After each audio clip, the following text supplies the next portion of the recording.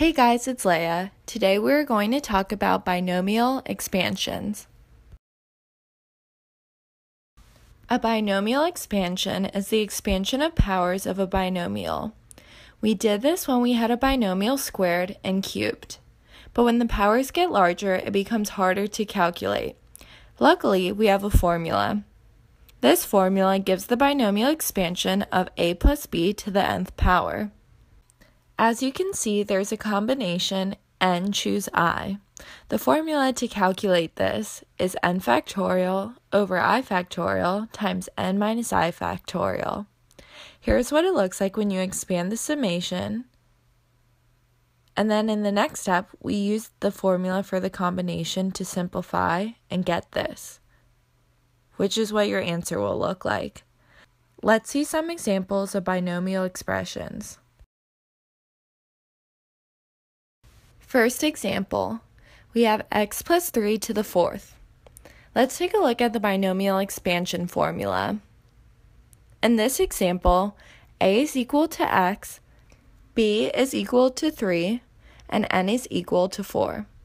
Now let's plug these values back into the formula. Next, we will expand and write out the summation. Next, we'll simplify. And then we'll simplify again and get our answer.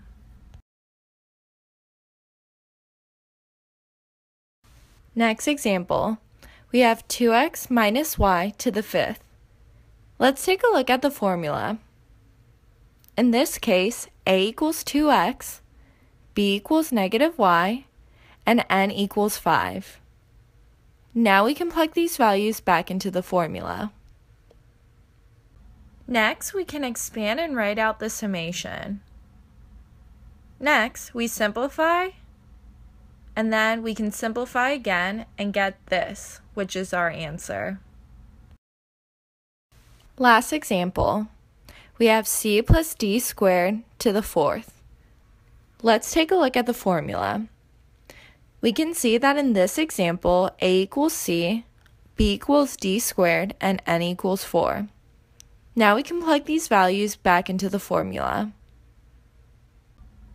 Next, we can expand and write out the summation. Then we simplify,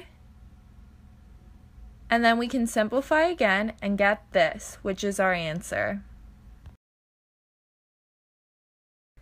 Memorizing the binomial expansion formula is very helpful when expanding a binomial.